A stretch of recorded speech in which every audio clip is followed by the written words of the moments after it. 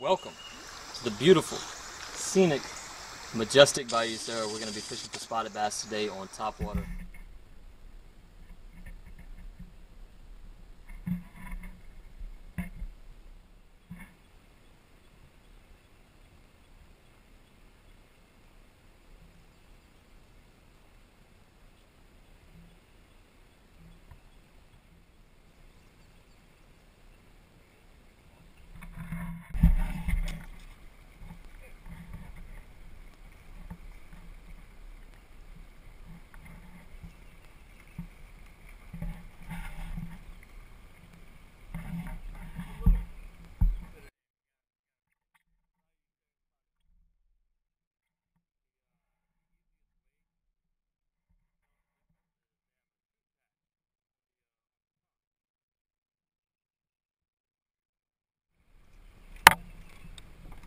Alright, think we have enough water to release him right now? There you go.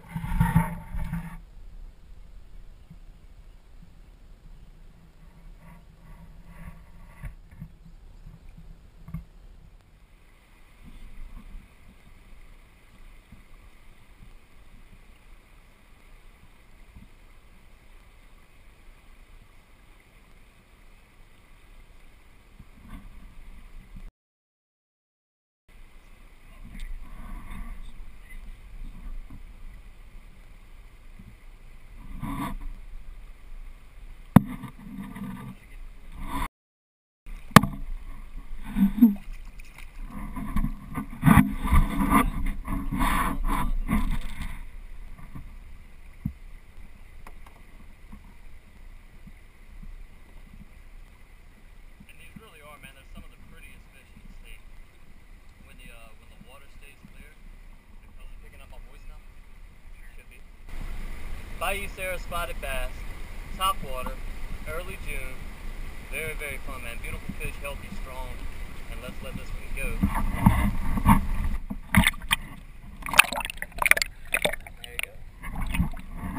It's early June, and they really really start to feed on shad this time of year. They look up. The Rebel Pop-R is the lure for it. Perfect little shad imitator. I've got it in silver black here. Uh, another really important thing is the reel that we use. Is a Abu Garcia Pro Max 7.1 to 1 gear ratio, really fast retrieve with a uh, with a top water. What you do, you don't ever move the lure with the reel. You move it with the rod. So what that does, it creates a lot of slack.